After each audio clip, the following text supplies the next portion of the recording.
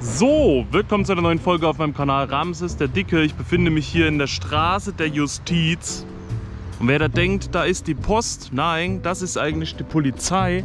Und das sieht man da drüben, denn das ist die Polizei von Meiningen. Wir wollen aber nicht zur Polizei, da waren wir letztens nämlich schon, weil ich meinen Ausweis nochmal vorzeigen musste. Und heute ist Samstag. Bei mir ist Samstag der Tag vom Milzer Community Day aber heute ist auch das erste Mal Krypto Arctos in den Raids. Das heißt, ich wollte eh wieder so wie eine Art Community Raid machen vor dem Community Day. Wir suchen uns den ersten Raid, der aufgeht ab 10 Uhr. Ich habe ja gedacht, die erscheinen wieder ab 10 Uhr, aber die sind schon seit heute früh da. Also 8 Uhr konnte man auch schon Arctos raiden. Was es sonst noch zu beachten gibt, wie die Arena aussieht, wo der aufgegangen ist, das zeigen wir euch gleich. Wenn man jetzt die Kamera rumdreht, sieht man schon, ein riesen Gebäudekomplex. Da drüben altes, modriges Gebäude. Da irgendwas Verglastes. Da was Großes, Heftiges. Da ein Durchgang. Und hier ist so eine komische Skulptur. Ich habe keine Ahnung, wie man das nennt, was das sein soll. Das ist auf jeden Fall die Arena und heißt einfach nur Stele. Stele ist die Arena, da ist der Crypto Arctos Raid, den wir jetzt machen wollen. Aber ich kann euch noch mal kurz mit hier rüber nehmen noch mal kurz auch darauf hinweisen, dass es wohl ein Problem gab beim Tauschen von bestimmten Pokémon, die im Jahr 23 gefangen wurden und bestimmten XXS, XXL, sodass das als Spezialtausch immer gewertet wurde, obwohl es gar keiner war. Und der Jentik euch jetzt für die restliche Season erstmal zwei zusätzliche Spezialtrades pro Tag gibt. Das heißt, wir haben ja eh statt einem schon zwei. Jetzt gibt es zwei zusätzliche. Wir haben dann also statt zwei vier.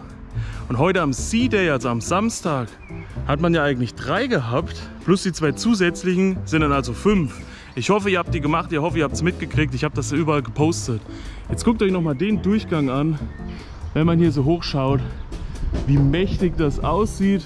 Dieser Baum. Und hier steht auch Justizzentrum Meiningen, Amtsgericht, Landgericht, Sozialgericht, Staatsanwaltschaft, Verwaltungsgericht, Bibliothek, also alles am Start.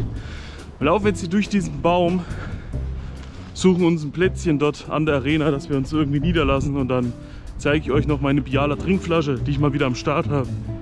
So, hier seht ihr jetzt die Biala Trinkflasche in freier Natur mit meinem Pokémon-Rucksack, den ich von meiner Cousine geschenkt bekommen habe.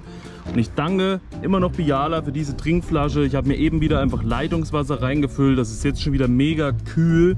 Gefühlt kühlt diese Flasche alles, was du reinmachst. Die nehme ich immer zum Saufen, wenn ich unterwegs bin, wenn ich mal was trinken möchte. Das ist Sponsor vom heutigen Video, obwohl ich gar keinen habe. Und hier habe ich eine coole Ecke gefunden. Kurz neben der Arena sind hier lauter so Bäumchen, das sieht auch super aus, mit lauter Bänkchen dazwischen. Und zwischen zwei Bäumen ist immer eine Bank, das sind Bäume angeordnet hier in so einem richtigen Quadrat, immer wieder mit Bänken dazwischen. Hier könnte ich mich jetzt hinsetzen, hier könnte ich jetzt den Raid machen. Ich setze mich aber lieber direkt in die Arena auf den Fußboden. Ich brauche keine Bank, da passt das mit der Kamera besser. So, weil ich die Location irgendwie feiere, habe ich mich jetzt doch erstmal hier zu diesem Baum gesetzt, werde aber dann zum Raid, für den Raid, zur Arena gehen. Gerade bin ich auch noch mit Crypto Saphir Glücksfreund geworden, habe die App angemacht, kam das aufgeploppt. Grüße gehen raus an den Gabriel, vielleicht können wir heute noch tauschen. Ich sag's nochmal, am C-Day normalerweise Saisonbonus zwei Trades statt einem. Am C-Day gab es einen zusätzlichen, also drei. Wegen den Fehlern in letzter Zeit bei Niantic gibt es im Season-Bonus aber nicht zwei, sondern vier. Plus der vom C-Day am C-Day, also nicht vier, sondern fünf. So, nach dem C-Day dann also wieder vier statt zwei. Wer sich das gemerkt hat, richtig genial. Habe ich auch im Community-Tab was dazu gepostet und was ich noch im Community-Tab gepostet habe, ist, dass alle, die Krypto Mewtwo Raids gemacht haben, bitte mal in ihren Heute-Tab schauen. Da ist nämlich hier eine befristete Forschung. Wir haben ja angekündigt, dass es keine XL-Sonderbonbons gab bei Mewtwo, Krypto Mewtwo, das ein Fehler war und alle, die Krypto Mewtwo Raids gemacht haben, können diese Forschung kriegen. Einfach mal die App starten, einfach mal reingucken, beziehungsweise ab Level 31 kann man jetzt diese Sonder XXL erhalten. Sonder-XL Bonbons. Schaut mal, ob ihr die habt. Wenn ihr wenig Raids gemacht habt, habt ihr vielleicht nur 10 Sonder-XL. Wenn ihr viele Raids gemacht habt, könnte das bis zu 30 werden. Ich habe hier 5 plus 25 zusätzlich. Ich habe also 30 XL Sonderbonbons bekommen und die sind mega genial. Würde ich aber nur für mysteriöse Pokémon einsetzen momentan, weil alle anderen wilden könnt ihr ja so haben. Alle legendären bekommt ihr eh mindestens 3 XL, da braucht ihr keine XL Sonderbonbons. Mysteriöse ist für mich der einzig sinnvolle Verwendungszweck in dem Moment. So, das haben wir abgeholt, das haben wir abgeholt. Ich gehe jetzt trotzdem mal ganz kurz auf YouTube. Irgendwie gefällt mir jetzt hier das Bild trotzdem nicht. Die Sonne knallt immer zu so ins Gesicht. Mein Kanal Community, und da habe ich schon vor 100.000 Jahren hier angekündigt, Arktos. Krypto Arctos Raids, das Ding ist vom Typ Eis und Flug, das heißt am besten ihr nehmt Gesteinsangreifer, Terrakium ist gelistet, Mega Aerodactyl ist gelistet, Rihonyor, äh, Ramaidon, Brogolos und Despotar. Ich werde ein paar Raids machen, bis ich das Krypto Shiny bekomme. Ansonsten brauche ich davon, glaube ich, nichts. 100er Arctos ist am Start auf Level 50. 1743 ist der 100er Wert, 2179. Gerade wenn ich so Infografiken habe, teile ich die ja immer im Community-Tab. Da könnt ihr nachschauen. Samstag am Milzer Sea Day ist das das erste Mal bei uns da gewesen. Sonntag gibt es das auch noch. Und dann die dritte und die vierte Juniwoche gibt es das definitiv auch noch. Ob im Juli auch wieder an den Wochenenden Arctos Raids sind oder dann Zapdos kommt und im August Lavados, kann ich jetzt noch nicht genau sagen. Auf jeden Fall den ganzen Juni über sind die Krypto Arctos Raids an den Wochenenden da. Wer da noch was braucht, wer da noch was sucht. Ansonsten ist heute Milzer Community Day, aber das ist hier fürs Video uninteressant, weil dieses Video kommt erst am Sonntag raus. Und dann habe ich euch das hier auch nochmal gepostet mit der Forschung, um die XL Sonderbonbons abzuholen. Plus eben, dass der Season Bonus sich gerade kurz geändert hat von 2 auf 4 Trades. Plus am Milzer sieht er eben dann 5 statt 4. So, mehr muss ich nicht sagen. Hier ist die Arena. Ich sitze jetzt noch 21 Minuten hier rum, aber es ist schön, es ist gutes Wetter, wir sind in der Natur. Da können wir ja mal gucken, was wir vor allem hier drin haben.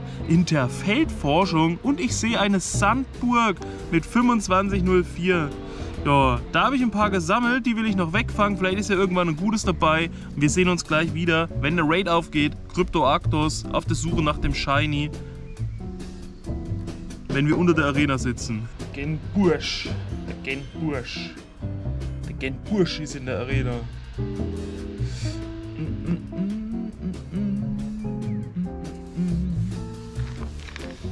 So, ich habe jetzt mal die Arena, die war rot. Das, äh, das saßen zwei rote drin, ja, seit ein paar Tagen oder so. Ist gerade eh nichts los gewesen. Stehle, habe ich mir gedacht, mache ich jetzt einfach mal ähm, gelb. Jetzt mal überlegen, welche Farbe ich bin. Ähm, ähm, setz mal das Riolo hier rein. So, das ist klein, das ist süß, das ist fein, das ist Riolo. Gehen wir mal wieder raus. Warten immer noch fünf Minuten, dass der Raid losgeht, ne? Ich befinde mich jetzt mitten in der Arena. Was? Abit hat das Geschenk aufgemacht, hätte er doch zum Seed Day machen können um 14 Uhr, aber naja. Was will man machen? Wer jetzt so anfängt, der macht auch bei Stufe 3 und 4 alles auf. Ich befinde mich jetzt in der Arena. Das sieht man hier über mir. Guck, das ist die Arena. Und da sitze ich jetzt drin und habe hier halt um mich herum diese ja, die Dinger halt. Aber das Gute ist, hier führt nämlich ein Weg drumherum, da laufen immer zu Leute mit Hunden vorbei. Da störe ich jetzt nicht und die können einfach um mich herumlaufen. Perfekt. So, noch 25 Sekunden. Arena immer noch gelb. Es hat sich sogar, sogar jemand dazugesetzt. Und das ist Pfirsich Schatzi. Habe ich gesehen, die kam da hinten angelaufen, ist dann ins Gebüsch reingegangen.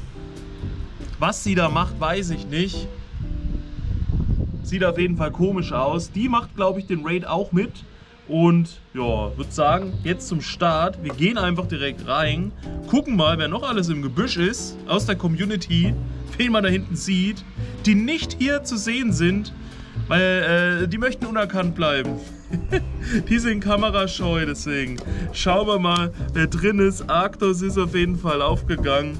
Ich bin drin und der Nudel-Account ist drin.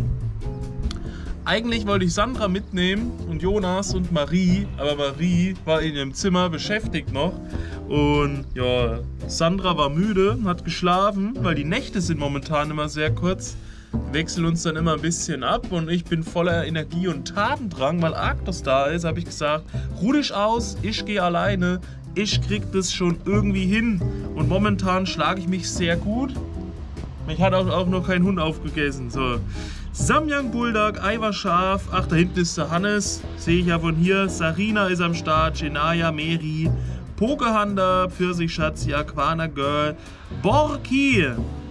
Aber Borki steht da hinten. Extra. An der Borgeneiche. Zehn Leute. Gut, das reicht mir. Ich habe mir auch ein Team erstellt. Also ein ziemlich langweiliges Team. Wenn man hier sieht, vorgeschlagen ist Ramaidon, Rihonyor. Mega Aerodactyl, also wenn ich es entwickeln würde jetzt gerade, Progolos, Rihonio, Despoda. Was habe ich gemacht? Despoda, Despoda, Despoda, Rihonio, Rihonio, Rihonio. Despoda, alles mit Katapult Steinkante. Das erste ist, glaube ich, ein 100er Krypto, dann ein 100er Erlöstes und dann ein 98er Shiny, aber alle auf 50. Und die Rihonio haben natürlich alle Felswerfer als Ladeattacke. So, Ansonsten bleiben wir wahrscheinlich 10. Beim anderen, beim kleinen Account, habe ich hier äh, Glurak drauf. Glurak, Despoda, Despoda, Ramaidon, Despoda und Metagross. Gucken mal, ich glaube, ich habe ein paar Edelsteine. Benjamin hat schon wieder gesagt, er macht Challenge. Er versucht wieder mit vier Personen ohne Edelsteine das niederzuknüppeln. Ich würde sagen, wir setzen trotzdem mal wieder Edelsteine ein weil für was soll ich die sonst nutzen? Und damit ihr auch mal seht, falls ihr gar kein Crypto-Raid bisher gemacht habt, wie das ausschaut, wenn man Edelstein einsetzt, um einen Crypto-Raid-Boss zu bändigen. Schön auf jeden Fall dieses äh, Team Rocket Logo, was da am Anfang erscheint. Das sieht auf jeden Fall heftig aus. Ach so, jetzt drücke ich hier auf Undicht. Ich muss doch bei Gestein bleiben. Schön auch die schwarzen Zuschauer, der schwarze Arena-Boden, die schwarze Kulisse allgemein. Sieht irgendwie krass aus. Auch, dass der Raid-Boss diese roten, feurigen, bösen Augen hat. Und viele nutzen die Chance natürlich, um dann an den 100er zu kommen. So, 5 Edelsteine. Ich setze mal einen ein. Hat's geklappt? Ne, wahrscheinlich nicht. Ich habe nämlich immer noch 5. Das hat man gar nicht eingesetzt. Der ist auf jeden Fall jetzt grau. Eigentlich läuft da eine Zeit ab und man kann ihn wieder einsetzen. Der Kreis füllt sich nicht. Irgendjemand hat mal gesagt, man darf, wenn man den einsetzt, nicht direkt danach wieder angreifen drücken. Man muss erst ganz kurz mal abwarten. Einen hat es jetzt eingelöst. Statt fünf habe ich vier. Wow. Jetzt steht da drei. Das heißt, den zweiten habe ich eingelöst. Und wenn er nicht mehr rast, jetzt habe ich doch wieder vier. Das ist mit den Edelsteinen raff ich einfach nicht. Da hat er so eine komische Hülle um sich rum, so eine rosane. Und wenn er gebändigt ist, steht ja auch gerade da, dann ist die rosane Hülle wieder weg und er ist natürlich wieder besser zu besiegen. Edelsteine habe ich jetzt, glaube ich, zwei Stück verbraucht. Obwohl ich zehn eingesetzt habe, habe ich nur zwei Stück verbraucht. Die anderen haben nicht gezählt. Hat sich vielleicht auch überschnitten mit den anderen Mitspielern. Die 100% WP habe ich jetzt auch schon wieder verrissen. Aber wir gucken einfach, wer am höchsten ist von den beiden. Pokémon retten. 2095 und 2066. Wir fangen mal das 2095er jetzt für euch live im Video. So, der ist auf jeden Fall ziemlich biestig. Also er wackelt immer so hin und her. Großartig, so muss der Kreis bleiben. Ey, der ist so zappelig, schon so lange kein Arktos mehr gefangen. Die letzten Arktos waren auch Krypto, aber die konnte man ja aus der Forschung dann bekommen. Die konnten gar nicht fliehen, die waren immer im ersten Ball drin. Hier wird es jetzt ein bisschen knifflig, wenn der so hektisch ist und auch fliehen kann. Ich sehe schon Leute, die da ihren Meisterball zücken, wenn die den noch haben. 4XL Sonderbonbons gab es, äh, 4XL Arktos gab es und das Ding hat 10, 12, 11. Das ist also mega schlecht. Dann ist das andere ja noch schlechter. Brauchst du nicht erlösen, brauchst du nicht hochziehen, brauchst du nichts mitmachen. Wir gucken noch mal ganz kurz hier auf Arktos allgemein. Arktos. So. Hier ist das Gala Arktos. Das habe ich auf 40 mal gezogen. Aber hier ist Julchen. 100er im Tausch erhalten, auf 50 hochgezogen. Das passt. Ich suche also eigentlich nur das Krypto. Shiny. Dann habe ich eigentlich alles. 100er Krypto wäre krass, aber ich werde da nicht exzessiv raiden. Ich werde nur raiden, bis das Krypto-Shiny da ist. 100er brauche ich nicht nochmal erlösen, habe ja eh keine XL, wie ihr seht. Also 32, damit jagt man eh nichts hoch. Das war es jetzt von meiner Seite aus. Wir sehen uns beim nächsten Mal. Danke fürs Mitmachen an, den, an die Leute, die dabei waren. Habt ihr schon ein Arktos gemacht? Was ist euer bestes Krypto-Arktos, was ihr jetzt habt? Wie viele Krypto-Arktos-Rates habt ihr gemacht am ersten Wochenende? Könnt das ja mal unter dieses Video schreiben, was am Sonntag kommt. Und ich werde Sonntag den Dortmunder Raid-Bus nutzen auf Shiny-Jagd. Aber da sind wir ja schon mittendrin, wenn das Video kommt. Ansonsten Peace out, Vorhaut, euer Ramses. Danke fürs dabei sein. Das werde ich jetzt immer machen, wenn ein neuer Krypto-legendärer Raid-Boss kommt. Den wieder begrüßen auf diese Art und Weise. Peace out, Vorhaut, euer Ramses.